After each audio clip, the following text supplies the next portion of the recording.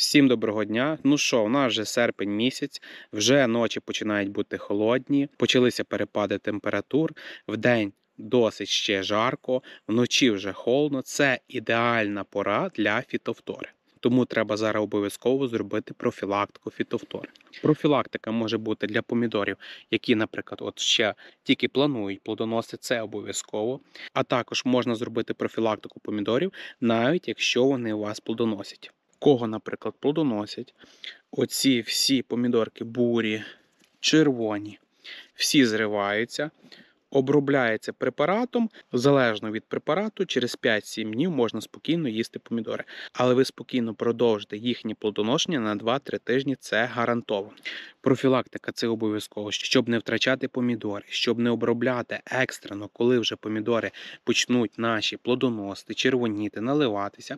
Тому зараз потрібно зробити профілактику. Препарати не є досить хімічні, вони мають малий строк очікування. Вони виходять за тиждень, це в районі 5-7 днів, і можна вже тоді спокійно вживати помідори, робити з них закрутки, соки, хто що полюбляє. Звичайно, зараз мені напишуть: от ви обробляєте, краще піти на базар. Повірте, те, що на базарі стільки там добрив внесено, стільки гербіцидів, стільки різних препаратів для наливу, на дозрівання і обробка від хвороб. Якщо ви десь там профілактично обробляєте раз на два чи на три тижні, це крапля в морі. І кожен може відчути різницю помідорів, хто їв домашні помідори, хто їв помідори з базару, там є різниця. І це не тільки різниця, що там переважно гібриди а й різниця в тому, як помідору агресивно вирощувати. Вертаємося до препарату. Препарати ці надійні, перевірені, речовини в них більш вже новітніші, тому збудник фітофтори ще до неї не привик, і він гарно забирає фітофтори. Звичайно, якщо цими препаратами не зловживати. Я так профілактично обробляю. Показую ці обробки в моїх відео, і можете подивитися, що в мене помідори до вересня місяця ми збираємо. Для нас це не варіант, що от серпень місяць, і що помідори пропали, і потім залишитись без помідорів. Ми збираємо цілий серпень місяць, і ще на початку вересня ми маємо свої помідори. Так, перший препарат це, звичайно, квадріс. Багато хто знає ще цей препарат, багато хто ще його не знає. Квадріс у нас системний фунгіцид широкого спектру дії. Він і застосовується і на огірках, і на цибулі, і на помідорах. Він досить допоміжний, багато хто його любить. Він має малий строк очікування, але я хочу, щоб ви врахували. Оскільки він малий має строк очікування, він не настільки хімічний, як редоміл, ревос, чарівник, або я не знаю, там різні багато є препаратів, він настільки хімічний. І, звичайно, він не має такої суперефективної дії, як ті суперхімічні препарати. Але нам і так і не треба. Нам треба вже такий період, щоб була профілактика. Такий препарат, щоб ми потім не їли хімію у своїх помідорах. Квадріс має і профілактичну, і лікувальну дію, навіть якщо вже є хворі помідори. Значить, він нас забирає фітофтороз, альтернеріоз і бура плямистість. Є багато відео. Я так бачу, що у людей не так е, сильно фітофтора, наприклад, цього року поширена, а як альтернеріоз. І навіть бачу в коментарях, що питали за буру плямистість.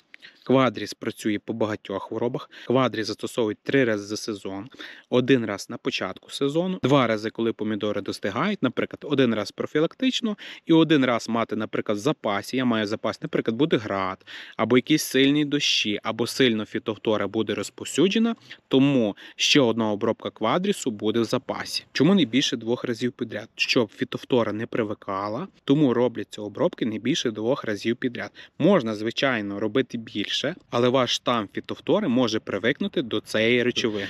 У мене два пакетики. Один пакетик квадрісу дається на 5 літрів води, тому якщо на 10 літрів води, вам потрібно два пакетики квадрісу. Це буде 12 мг препарату на 10 літрів води. Також вам покажу препарат, який має таку саму речовину, як квадріс. Це Старк. Там був виробник Сингенда. Тут сімейний сад, він має таку саму речовину, але він дешевший за квадріс. Також непоганий препарат. Коли у нас мав бути тиждень дощів, я робив профілактику старку. Але, звичайно, вибирати вам, який препарат купляти. Обов'язково бакову суміш.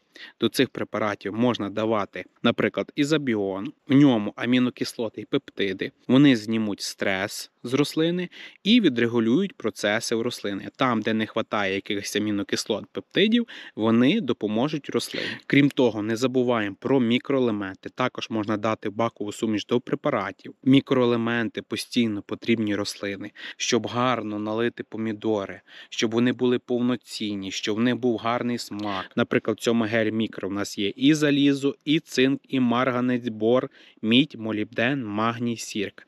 Недооцінюйте значення мікроелементів.